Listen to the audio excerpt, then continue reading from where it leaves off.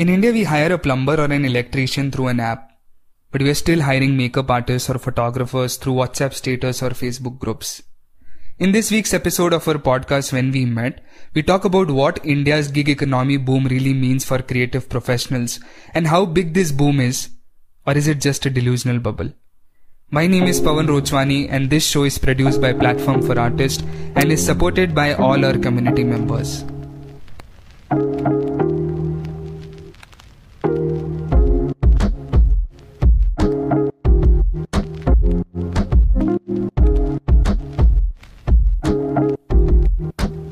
Before I get into this topic, here is a small announcement. On 20th of June 2020, we are hosting a webinar on growth hacks for artists, where we are sharing some jugars that we usually share in our 3-hour masterclass to the cohort. But this is a quick 1-hour webinar on the topic. You can register for this on Book My Show or Townscript or the PFA website. I will also attach the link in this episode description. So, I'll see you there maybe. Now let's get into the freelance culture of India part 1.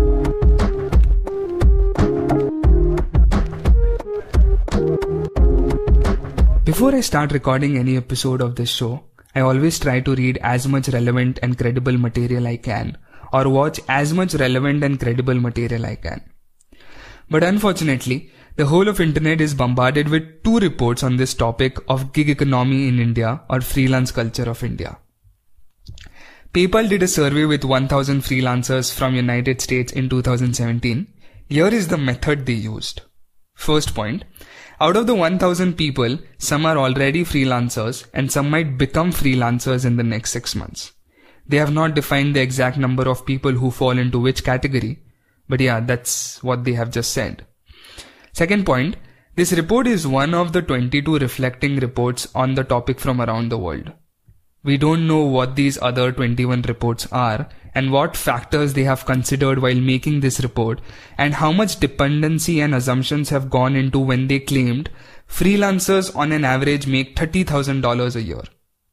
We don't even know if this term freelancer includes data scientists or designers or content writers or legal consultants. We don't know that. Another report was by the giant corporation EY. They have done an internet survey with 1008 freelancers and 1000 employees from corporations who have more than 100 million dollars turnover. Basically, this can be equivalent to sending a Google form on your family WhatsApp group and writing a message, Hey everyone, please fill this up for my college report. This survey was done in 2016 and the report was released in 2017. Again, this was done in the US and there has been no survey done till now in India. I found one survey which is done in India, but the data was gathered by 800 HR professionals in that case to understand if they would hire freelancers or not. And 81% of them said yes, they would prefer to do it because why not? We don't have to give insurance or sick leaves or provident fund benefits to these freelancers. That's it. That's all we know about freelancers and the data about freelancers in India. We don't know what freelancers in India think or were doing in 2016 or 17, 18 or God knows how the situation is for them during COVID-19 crisis. The worst part is that using these two reports, media houses like YourStory in India have written articles like what makes the gig economy hottest trend in India. I'm not sure how different this article is compared to any medium blog by an aspiring writer, but the joke was at the end. At the end of the article, they also write, disclaimer, the views and opinions expressed in this article are those of the author and do not necessarily reflect the views of YourStory media.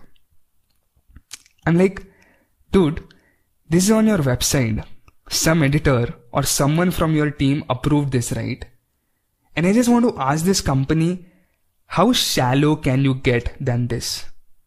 Because people quit their jobs based on news or what they see on the internet and they make major life decision considering these articles. This just reminds me of the year 2012 when everyone around me kept saying engineering में बहुत scope है while we knew this will lead to a bottleneck scenario till I graduate in 2016. So today when I'm recording something about the freelance culture of India, I want to be as honest as possible with you about this as a freelancer and also as a person who has worked with multiple freelancers in the past three years. because finding authentic information is impossible these days and the whole content internet is just a clickbait game. But more importantly, to the frequent 2000 listeners of this podcast, I do not take you all for granted. So, that is why I had a conversation with someone who runs a marketplace to hire creative professionals. If you're a freelance creator in India, you must have heard about Indiefolio Network and how you can get freelance gigs through their website. I spoke to Kavan, who is the co-founder and CEO of Indiefolio Network, and you will hear my conversation with him from here onwards over a Zoom call. Thank you so much, Kavan, for doing this uh, conversation. I am for two reasons actually. One, for being such a sport, because I'm not sure uh, if somebody would call me for the very first time on a Tuesday and then ask me to record mm-hmm. my beliefs and ideas about a topic on Thursday and then publish it to the world on a Friday, how open I would be to that idea. So thank you so much for uh, doing this. Secondly, also because you know I have uh, long wanted to. I mean, PFA wanted to collaborate with Indiefolio in some other other way. I think this should be a good start for that collaboration for both the communities. So thank you so much for doing this. Thanks a lot, Pawan, for having me. And uh, yeah, kudos to you for accommodating for the late evenings and early mornings. I think that really helped us get this out as quickly as possible. It's a really noble thing you guys are doing, and I really hope your conversations and our conversations help the community at large. And yeah, look forward to more collaborations and seeing what communities, creative communities in India, can do together. Definitely, and I think that's why uh, I also wanted to do this conversation. I'm going to jump directly um, into some questions that I wanted to ask and know your thoughts about. Sure. Very firstly, how would you describe the freelance culture in India? Um, so briefly, the freelance culture in India is shaping up quite well. Uh, when you talk about the environment first, uh, it's a great place. It's a great time to freelance right now. Uh, mindsets are changing. The startup boom is being a catalyst. Uh, even aspects like uh, co-working spaces, which you know give you th- that uh, liberty to work by yourself in a professional environment, is all coming up. So I think it's the right time right now. And even if you just look at the number of freelancers worldwide, India always ranks second, and it's been a while since we've been ranking second. We're only behind USA, and uh, I predict that in the years to come, we'll be even crossing that market. So yeah, I think if you're a freelancer, it's the right time to freelance, and if you're thinking of freelancing, jump at it. Uh, now that's uh, the environment. Now, if I were to talk quickly even about um, the people, uh, that's where I think um, you know there are some challenges we've got a, a big diversity of freelancers. We've got these professional high quality freelancers who've been working with brands all over the world. And we've also got uh, uh, a lot of freelancers who are chasing money and not value. And uh, you know kind of that starts a price war. And a lot of i've i've heard a lot of issues crop up because of that. And um, you know i think upskilling and uh, being more professional with your with your clients and with your service is what i think is slightly lacking. And it's not just the freelancers uh, and the supply side but even the demand side uh, as a whole. A lot i see a lot of gaps in clients as well. And uh, i think both demand and supply side now need to focus on um, uh, doing i mean getting adjusted to remote working better. Hmm. And you were saying that uh, India is second in the number of freelancers, but what do you think is the difference in the culture and the environment of freelance in US and India? Mm-hmm.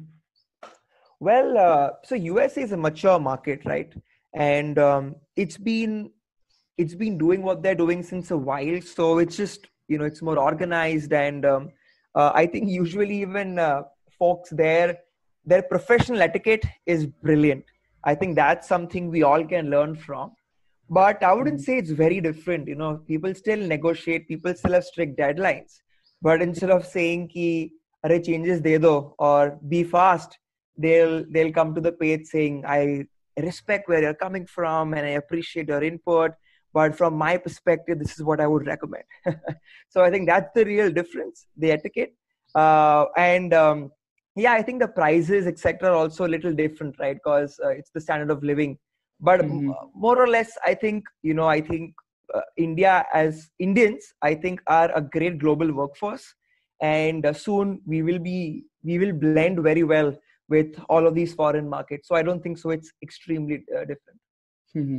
So I think I also agree to a certain extent um, on this, and I think the past few years because of all the uh, new startups coming in and even also a lot of uh, state governments and central government helping uh, startups and new accelerator programs coming in incubators coming in. And you know that has uh, sort of helped uh, more freelance culture being developed in the country but when we're talking about the whole gig economy of india and we, i mean i'm constantly hearing that the gig economy in India is going to boom and it's booming and all this.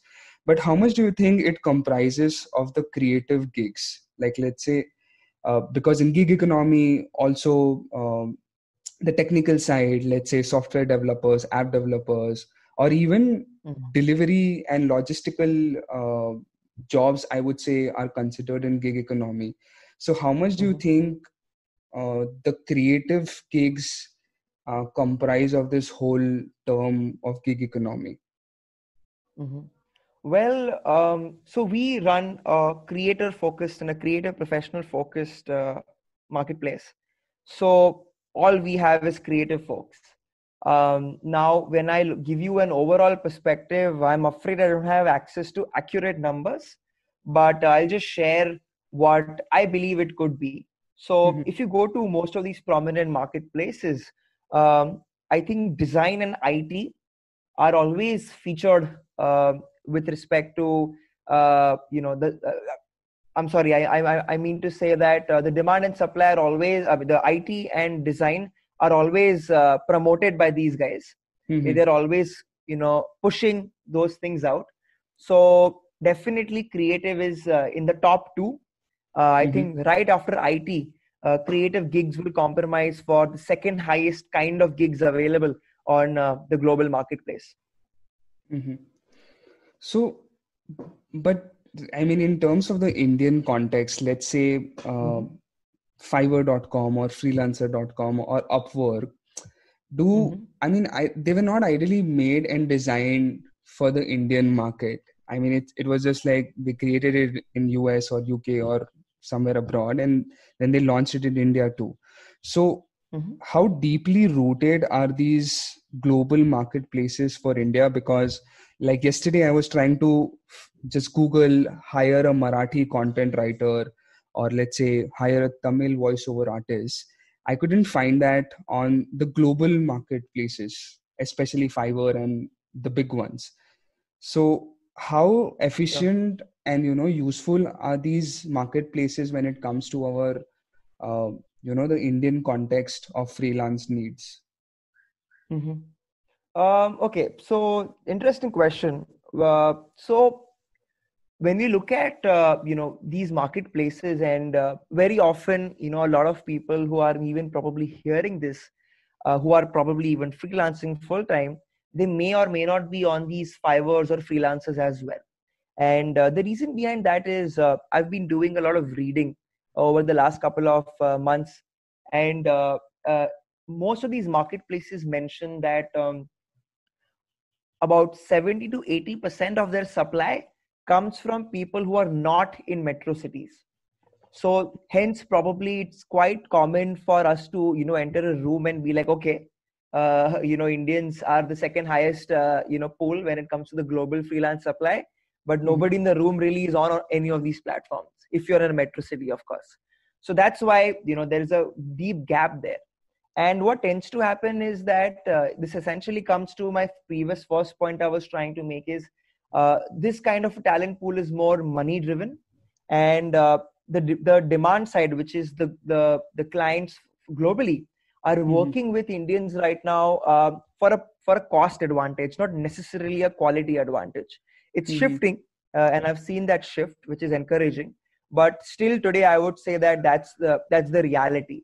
Now, because of that, uh, what ends up happening is that uh, the focus, like you know, someone like a Marathi writer, mm-hmm. um, if he's looking out to be on these platforms, he will know that there is going to be less demand you know because uh, these guys are not focusing demand that way now mm-hmm. if you are a marathi writer right now trust me uh, write to any company you feel would need your services you would be surprised at how uh, welcoming they will be to your cold reach outs because um, uh, india is an extremely vast economy and it's so diverse um, now is when people are getting online. Now is when a lot of companies are looking to you know localize things. And mm-hmm. by localization i mean you know thinking of marathi gujarati campaigns from scratch. A lot of uh, things right now in the whole vernacular space is just mere translation. And we could argue that that may not necessarily be a creative service.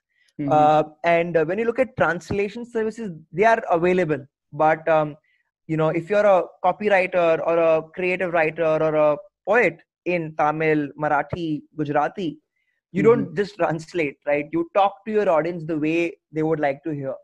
And mm. I've seen a lot of e-commerce startups a lot of companies there actually uh, who've started to invest in it right now. But the real truth here is that um, most startups like you and me will 1st mm-hmm. look at uh, a platform like english uh, mm-hmm. because you know the kind of audiences we are chasing first will be most receptive to that because the moment yeah. we pick any particular language we're cutting off like 70 80% of uh, the market who will just not understand and what i've seen is as companies grow they start looking at uh, various other languages as well that's mm-hmm. why i mm-hmm. think it's a combination of uh, what the demand exists uh, globally what uh, how the supply reacts to that demand and because of which you know it's extremely difficult for you to find that though i must mm-hmm. say that um, it's one of the focus areas for us as well the deeper we grow uh, in the Indian market, uh, the more focus we'll be able to give to things like vernacular. And mm-hmm. uh, yeah, we hope to kind of tap into and help these artists connect with demand and vice versa uh, in the upcoming years for sure. Yeah, and I think this was a similar conversation I was having with a friend as well. And I just casually asked her, Where do you get your freelance gigs from? And we also put up this as a question on our uh, ig stories and other social media platforms that where do you get your um, usual freelance gigs from? A lot of people answered instagram page facebook page or facebook group or whatsapp or word of mouth.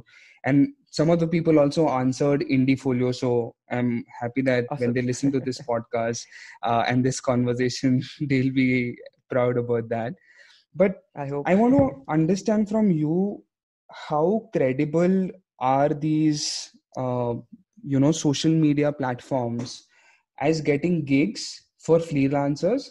And also how authentic and credible can this be uh, to hire talent? Hmm. Mm, well it's a complex question. So see on the internet like you know the usual joke is you can be a dog on the internet nobody will know Hmm. So attribution has always been a challenge. So credibility wherever you are, social network or any other platform is a challenge.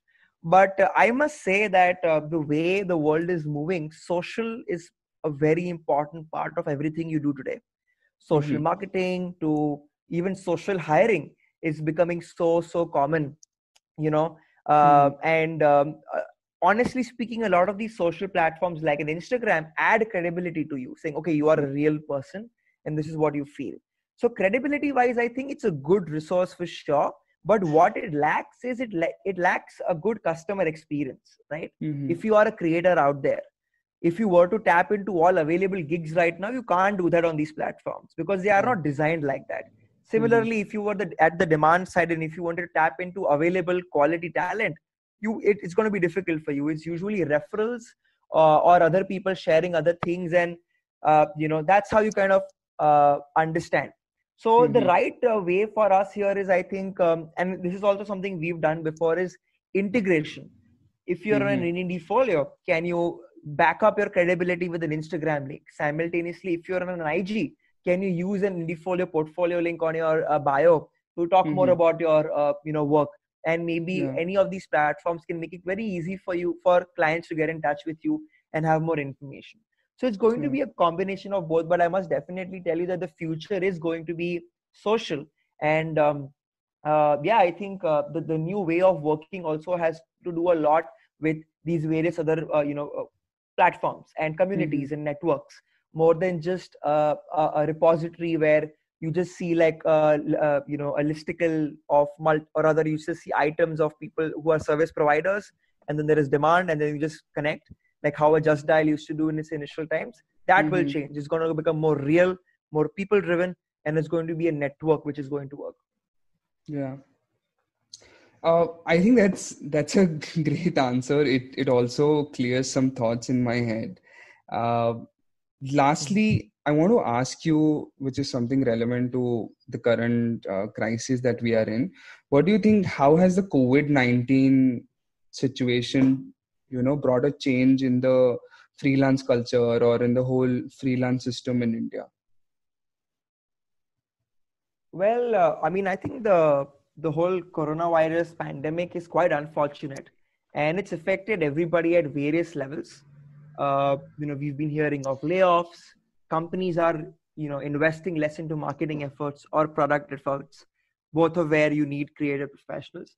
So overall i think from a demand uh, perspective i think uh, you know creative professionals need to move out of their comfort zone upskill themselves uh, change things uh, in their workflow try things they've never tried before uh, to kind of make the most of the situation. But from an overall perspective i think what this thing has done which is almost like a blessing in disguise it, it has forced companies individuals to start working remotely you know mm-hmm. we've always had a block saying yeah. yaar you know in in person is always better and साथ में साथ में kaam karenge, to it'll be more mm-hmm. efficient and i think that's gone you know like we've realized where we've reached you know i think for me also personally we were able to uh, we were on cloud platform since day one at Indiefolio Network the mm-hmm. day we decided to work from home it didn't change anything the mm-hmm. only thing which we miss is that you know the whole thing of working with people and seeing everybody's faces in person every day and having a chit chat is a little lesser but mm-hmm. efficiency mm-hmm. productivity has increased stress is less so what has happened is people are like i think brands from a company like um, you and mine which is a small startup to you know big companies uh, from reliance to a tata these mncs mm-hmm. have also now started accepting that okay you know what i'll start looking at remote talent as well in the mm-hmm. last couple of weeks you know so many companies have come to us saying hey kavan i don't mind working with anybody from india it's a full time remote opportunity you never have to come to office but you're going to get the ctc as much as a full time resource which is great oh. and i think uh, we are going to move towards that uh, very very quickly. And the pandemic has forced people uh, and, exp- and, has been a catalyst in this entire you know uh, uh, uh, uh, shaping up of the freelance culture in india. So yeah that was i think a, definitely a good thing. Yeah i think i also see like a silver lining to these dark clouds. But you said upskilling. What do you think mm-hmm. um, some other things or also what in upskilling can be mm-hmm. can the freelancers adapt today to be you know more gig ready and just be ready when whenever this lockdown or this situation you know just gets over and things are back to normal so how ideally they should use this time right now to be gig ready in the future Sure. So, I, in fact, uh, that's quite a broad question, and I'm sure we both can talk about that for hours. But if I were to keep it extremely brief for the sake of this podcast, number one i think um, get more accustomed to business. You know uh, don't be like hey i don't care. You know i don't like numbers. Mm-hmm. i get that. Even i don't like numbers personally but it's important for you to have a basic idea of where you're headed. Mm-hmm. calculate mm-hmm. how how can you do uh, you know better profitability. Understand how you can price more. Uh, learn business development. How can you pitch? How can you get somebody's email id how can you use various tools today like an hubspot being my favorite uh, mm-hmm. on doing business development for yourself. How, learn how to make a website. Uh, yeah. be very very extremely active on platforms from an instagram to an indiefolio to any of these existing trillions of you know portfolio platforms out there. Be mm-hmm. active on it. Uh, uh, be an influencer at your uh, for yourself. You know be a brand ambassador for yourself. Build your personal reputation.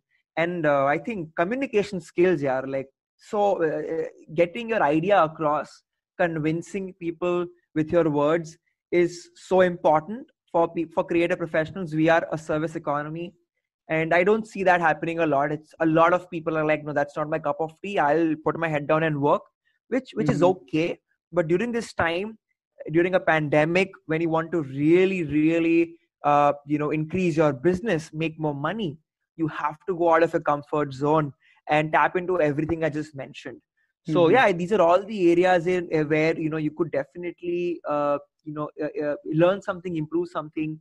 And uh, there are also smaller i mean more specific points like increasing your um, skill sets. Were you somebody in the events space?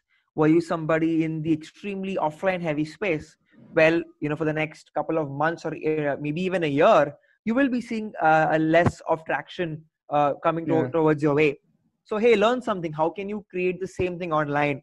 We have ar and vr today. Instagram has spark vr which makes it so easy for you to mm. actually create digital experiences. And there are so many tools out there which make it super simple for you to upskill yourself as well.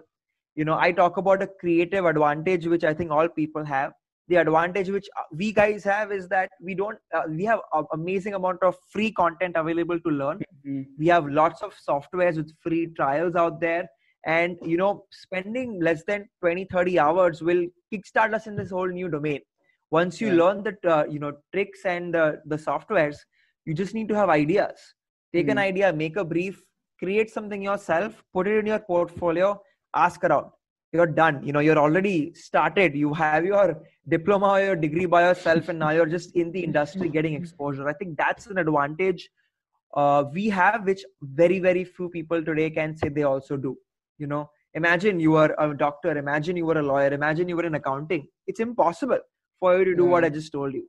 The way we can shift from one field to the other field is extremely easy and i think it's the right time for creative people to take advantage of that yeah, I think uh, that's a wonderful answer. And what you said about uh, communication, I think I read a tweet uh, just yesterday where it said writing has become a more important skill than coding today. And the way you, you know, just write your caption or copy or, or you know, just about yourself on your website True. is is really important today. And how you market yourself and how you and your services. Uh, thank you so much, Kavan, for doing this conversation. Uh, I'm I'm pretty sure a lot of people will have many takeaways from this small conversation as well. Uh, I I'm not sure how else I can thank you, but anything else that you want to add, uh, something that we might have missed out on. Oh, well, uh, firstly, thank you, Pawan, and it was a pleasure to be a part of this. Uh, some very interesting questions and very relevant questions, which was quite exciting for me to hear. And uh, I think you guys are doing a great job of building an artist community in the country. So yeah, you know, keep at it. And uh, I think, like we were discussing before, the more the people are doing things like this, the better it is for the community. You have more options, you have more content, and uh, the, at the end of the day, initiatives like this help the Indian creative professional. And I think that's the aim we're all chasing to reach. So yeah, thanks a lot uh, once again, and nothing really else from my end. And yeah, hope hope to collaborate with you soon, uh, very very quickly. Thank you so much, Kavan. Thank you. I'll be in touch with you. The reason why we're doing this in two parts is because I'm going to try and reach out to these people who have done these reports on gig economy in the past few years. I will try and get a comment from them about how do they think the economy will change because of this COVID 19 situation. Uh, I'm not sure if they'll come on the podcast, but at least I can try and email them about that. Because I feel freelancers are the people who are most affected right now. Uh, and in fact, in US, freelancers cannot even apply for unemployment benefits. And probably this is the whole reason why Uber was always in trouble with their drivers. The drivers wanted to be considered as a full time employee or at least something like an intermediate. But uh, the shit just got serious when California passed this the gig worker bill, and companies stopped hiring freelancers because of that. We will continue this conversation next week too. You can listen to this podcast when we met on Spotify, Google Podcasts, Apple Podcasts, Hubhopper, Gaana, Anchor, or any other podcast app around the world. New episodes release every Friday, and please, please, please don't hesitate to DM us on Instagram. Uh, we are at the rate platform for artists, or don't hesitate to share this podcast with your friends or someone you know who is a freelancer. Get them into the conversation, and we will build this creative economy ourselves. I'm, I'm not kidding, we don't need any Startup India program. We'll start the fifth industrial revolution ourselves by boosting the creative economy. I don't have a plan yet, but uh, let's co create that plan. Thank you so much for listening to our podcast. This show is produced by Platform for Artists and is supported by each and every community member of PFA. Take care and stay safe, you all. The lockdown might be lifted, but the virus is still out there.